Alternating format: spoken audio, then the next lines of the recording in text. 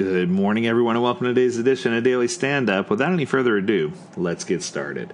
I'm Lee Henson, president and founder of Agile Dad, and I am a certified Scrum trainer through an organization called the Scrum Alliance. And uh, the Scrum Alliance has been the leader in the industry for a number of years, providing Scrum certifications for Scrum Masters, product owners, leadership, and other venues. But today's email uh, is one of interest someone asked me specifically, they said, you know, um, I work in a technical field in a technical environment, and I'm very interested in achieving my PSM, my professional Scrum Master from Scrum.org. They asked me, How do you feel about the certification? And do you think it's worthwhile? And then the next question was the one that shook me. They said, When will you be teaching that class? And I sat and thought about it. And I said, you know, I know a fair amount about the requirements for a PSM. I know what the class is like. Uh, I know some people who teach the class. I know they're great people. I know the class has strong uh, connection to the Agile Manifesto, and I know that it has a rather rigid test. I said, but you know, I haven't firsthand experienced these things.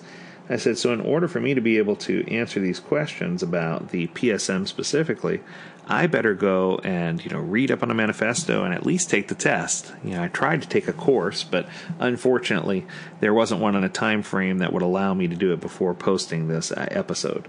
So um, I did go back though and study the manifesto thoroughly and study some other documents and proceed to take the test. Uh, I'm happy to report that after you know. Uh, after the first try, I was able to get 96.3 on their exam, which isn't a bad score. Not bad at all. Uh, but what I found was something very interesting. You know, I'm not certain whether it was the intent of Scrum.org to make this test tie so strongly to the values that the approach felt very rigid and dogmatic, or whether it was their intent to make sure that you really understood what the rules of engagement were so that if you were going to be flexible anywhere, you understood what the consequence might be, which I'm leaning more towards the latter. You know, I feel like Ken and Jeff have always done a fantastic job when it comes to pulling things together and to, you know, uplifting the community and providing high quality standards within the Agile and Scrum community. But this particular certification really, really, you know, was, I got to be honest, it was more rigid and difficult than I thought. Uh, you know, having teach this, have, having you know, having a, a number of years teaching the CSM and having taught thousands of CSMs and certifying them, what I can tell you is that this really piqued my interest because when I took the test, I was expecting it to be a breeze. And I can tell you right now, there are many questions that required thought provoking responses. There are many questions that require multiple answers. What are the top three? What are the top two? Uh, there are many answers that were better than just true or false. Um, did I feel that there may have been some trickery behind the scenes as far as uh, you know trying to sway you to answer one way or another, kind of like the PMP exam? Sure, there was. Uh, you know, there's always some bias there. But did that mean that it prevented our ability to successfully complete the test and get a passing score? Absolutely not. I think that anyone who has successfully practiced Agile for some time should be able to go into scrum.org and achieve a level one certification, either as a Scrum Master or a product owner, by simply taking the test. You know, I don't know that a class is required in order for you to do that. Now, the second part of the question asked me about credential weight. Does the PSM hold the same weight as the CSM? And quite honestly, I'm going to say yes.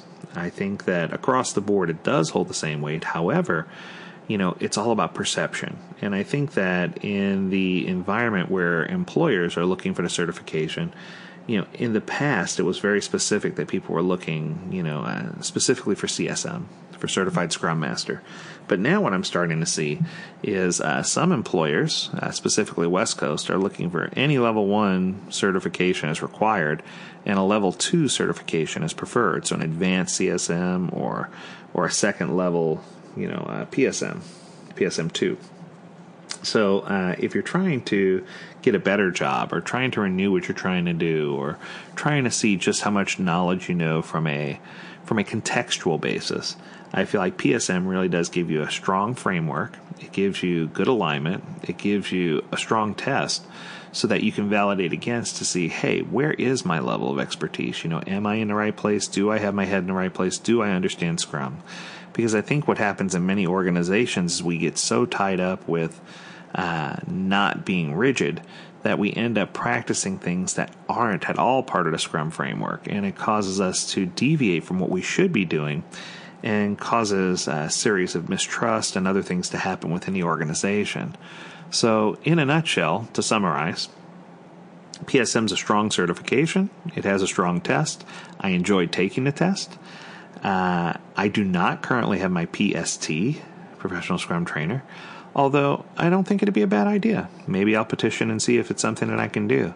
Uh, you know, I'd love to diversify my portfolio so that I can offer all of you, you know, whatever you know certifications that you might be looking for, so that we can work together to help change the world for the better. And I know that sounds so hokey, but it's true.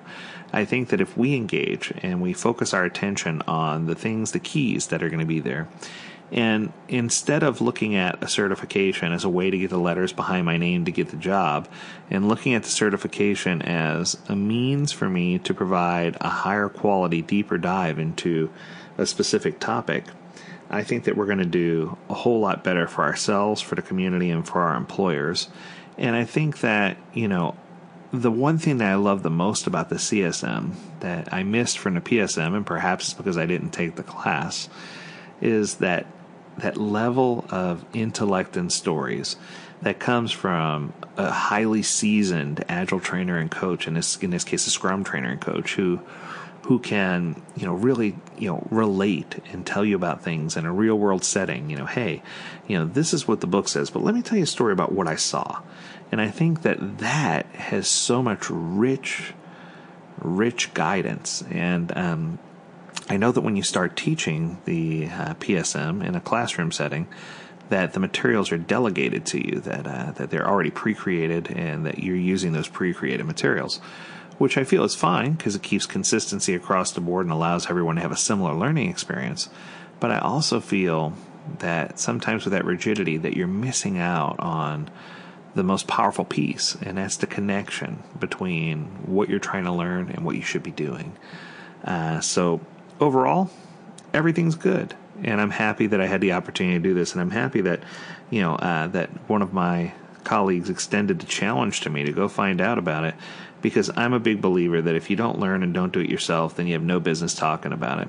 So, on behalf of the team at Agile Dad, you know, we hope that you've enjoyed this podcast. We encourage you to, uh, you know, listen to other episodes. We have tons of episodes out there that cover varying topics. This week we're answering your letters, but uh, or emails in this case.